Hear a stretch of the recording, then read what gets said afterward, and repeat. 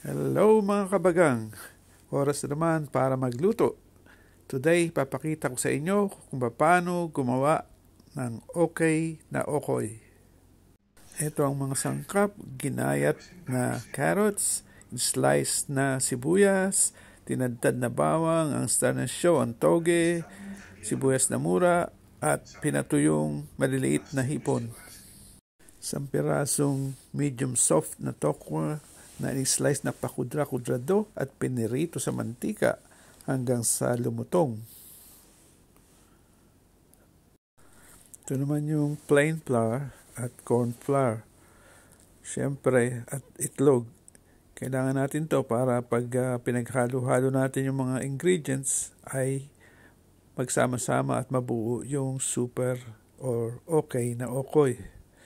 Ang kailangan lang natin ay 1 cup ng plain flour at half a cup ng corn flour.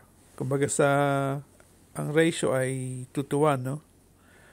So pagsamahin lang natin 'yan sa isang bowl tapos kailangan haluin natin para properly mix sila, di ba?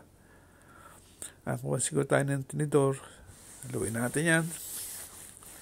Pagkahalo na, isasama natin yan sa itlog.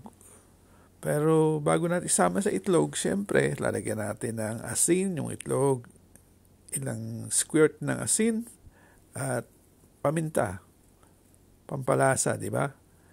Yan. Okay na, lalagyan na. So, pwede nating ihalo ngayon yung harina. At haluin natin. Siyempre, itlog lang yung liquid. Medyo malapot siya, ayaw matunaw, di ba? So, kailangan natin siguro lagyan ng tubig. Ngayon, lalagyan natin yan ng tubig para lumabnaw yung halo. Ito, ito yung tubig. At haluin natin yon. Tak, tak, tak, no? Betchin, syempre. Kasi okay na yung uh, lapot nung arena na nilagyan natin tubig, no? So ngayon maganda na yung density niya. Pwede na nating ihalo yung star of the show, yung toge. Siyempre, walang okay kung walang toge. Uh, Siyempre, ihalo na rin natin yung uh, ginayat na carrots. Sama na natin lahat. Sama na rin dyan yung uh, sibuyas na hiniwa-hiwa. Saka yung sibuyas na mura at yung tinadtad na bawang. So, all in. Kumbaga, sa poker nga eh, todo na. Yan. Tapos, haluin natin ngayon yan.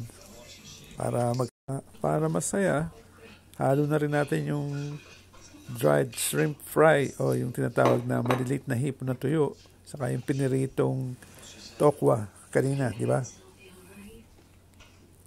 Okay. Tapos, haluin nating maigi, syempre, para maganda ang pagkakahalo-halo, pagkakasama-sama ng mga sangkap. Yan, halo lang na halo. Painitin nyo yung kawali, medium heat lang, no? At uh, pag medyo muusok na yung mantika, takalid nyo na yung okoy at ipirito dun sa mantikang medyo umuusok. Dito na ngayon magkakaalaman kung magdidikit-dikit siya at kung masarap. Tagumpay, no? Nabuo yung okoy at kitang-kita naman ha, parang pagkalutong-lutong ng pagkakadali natin sa okoy na to. At isang tip lang, no? Kahit hindi pa kayo tapos magluto, dahil uh, last nyo nang pinipirito yan, patayin nyo na yung kalan para makatipid kayo ng konti sa kuryente. Sayang din yun, kahit na 10 cents, makatipid kayo. Patayin nyo na. At uh, ilagay na yung okoy doon sa plato.